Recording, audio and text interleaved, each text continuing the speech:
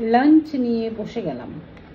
লাঞ্চে যেটা আছে, সেটা তো আগে মানে যাই হোক এই যে ডালটা, ডিম দিয়ে ডাল মানে ডিমের ডাল এটা।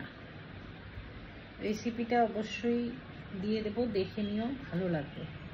একদম অন্যরকম একটু খাওয়াটা। একেবারেই অন্যরকম। খুবই টেস্ট হয় খেতে। আর এটা হচ্ছে ছোটো মাছের চচ্চড়ি। আমি খুব বেশি নেব না। অল্প স্বল্প মাছ চচ্চড়িটা নেব। এটা সরিয়ে দিই। আর এখানে আছে লোকাল চিকেন কারি এটা হচ্ছে চিকেন কারি আর এটা হচ্ছে মাছের ঝোল পাতলা। এই মাছের ঝোলটা একটু অন্যরকম করে করা। রেসিপি দেবো দেখবে। একটা মশলা দেওয়া হয় যেটা একেবারে অন্যরকম। খেতে ভীষণ ভালো লাগে। খুবই টেস্টি আর ওই ধরনের মশলা টশলাগুলো আমি আমার মা মানে এত ইউনিক রেসিপি জানে সব। একদম অন্যরকম। এত হালকা লাইট রান্না করি কিন্তু কি সুন্দর লাগে খেতে। তেল কম কম দিয়ে মায়ের কাছ থেকে শেখা হতো। তাও তো আমার একটু তেল বেশি হয়ে যায়।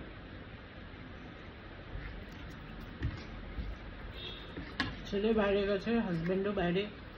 একা একাই খাচ্ছি আজকে অফিসে গেছিলাম। একটু তাড়াতাড়ি চলে আসছি অফিস থেকে। শরীরটা এত খারাপ লাগছিল। কাজের প্রেশারটা কম ছিলাম ভাবলাম না চলে যাই। তাড়াতাড়ি চলে আসছে।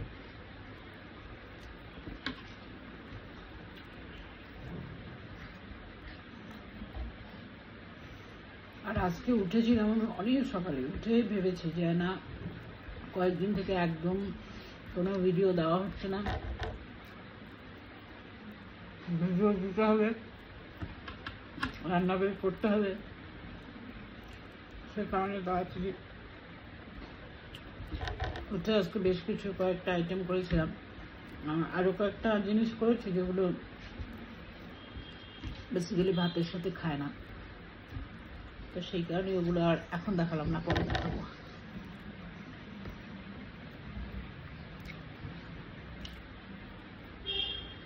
তারপর আরও মাছ এনেছে, বড় রাস্তায় রান্না করলাম না। ফান্ডের জন্য তুলে রাখলাম। কারণ উনিও কয়েকদিন থেকে বাজার করতে পারছে না, আজকে একটু সময় পেয়েছে, বাজার করেছে।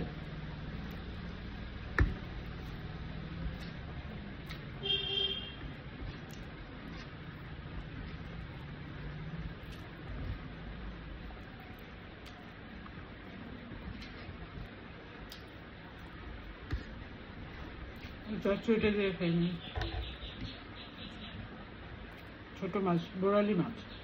কেউ বলে মৌরালা, কেউ বলে বৈরালি। আমরা বৈরালি বলি। আবার যেহেতু আমরা উত্তরবঙ্গের মানুষ উত্তরবঙ্গের মানুষরা বৈরালি বলে, আবার এই এক মাছকেই দক্ষিণবঙ্গের মানুষরা বলে মৌরালা।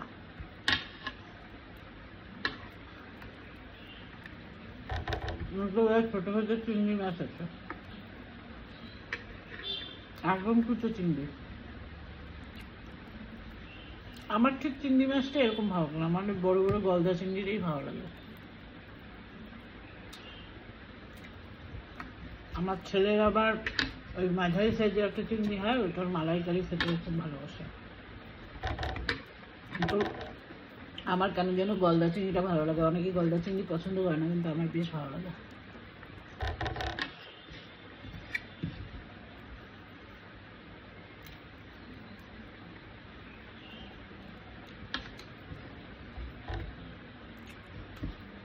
খেলাম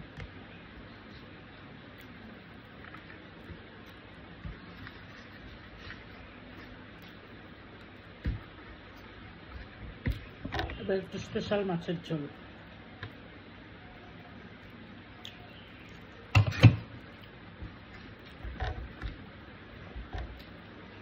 সজনা ডাটা পটল আলু আর সজনা ডাটা। টমেটো নিলাম, এক টুকরা।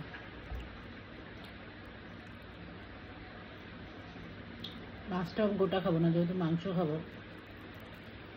মাছটা একদম অল্প ভেঙে নিচ্ছি।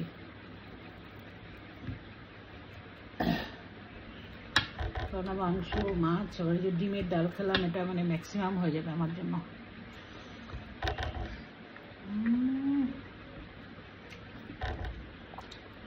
স্পেশাল মশলাটা দিয়েছি মশলাটা, অবশ্যই ভিডিওটা দেখো রান্নার যখন ছাড়বো, মশলাটা দারুণ মানে টেস্টটাকে মানে ভীষণ বাড়িয়ে দেয়। আর এই সিজনে সজনা টজনা দিয়ে পাতলা ঝোল, ওই মশলাটার টেস্টটা অন্যরকম হয়ে যায়।